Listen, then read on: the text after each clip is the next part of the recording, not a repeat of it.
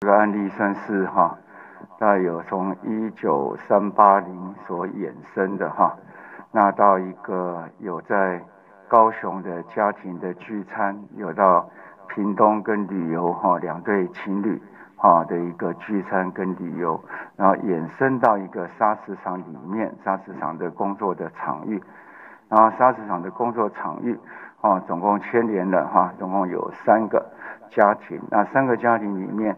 在衍生了哈，后面第一个哈，在这等于是老板跟老板娘哈，那他的小孩也有今天早上哈，在台南哈，是吧？女儿在台南圣宫啊，有哈有一个相关的一些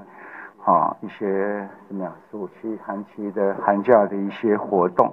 好，好，那也有他的其他的哈非同住的家家人哈，姐姐跟姐夫确诊。那这一家人总共是有哈新列的六个确诊，那另外在同磁场有一位一九五八四，好，那家里面的人也有在四个，这个家庭总共有五个人确诊，好，那在这个第一个再来，我们刚才讲就是说在屏东主机有两对对，好，等于是一个情侣哈，那一起有旅游。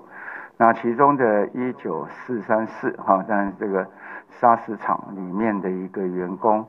然后跟他妈妈同时都在这个砂石厂工作。那今天衍生了一位一九五三零，哈，一九五三零是他们的应该是那个哥哥还是小孩哈，就是这一九四三五的小孩。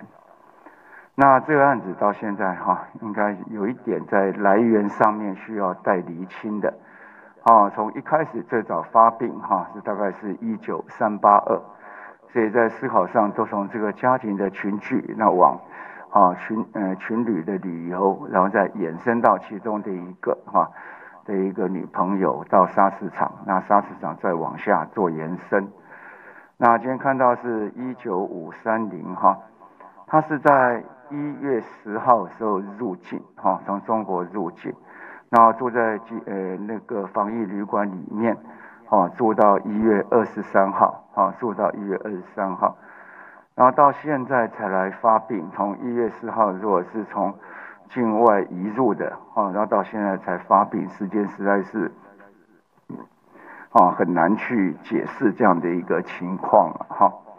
然后当然他 CT 值三十二，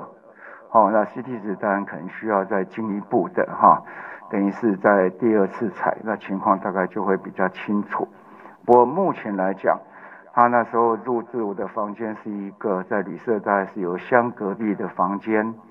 好，那他的一月有一月二十一号入住，哈，然后二月二号出来的，哈。好，那这里面这个这个三百零七号的里面。那最后他是阴转阳，哈，他出来的时候是阴转阳，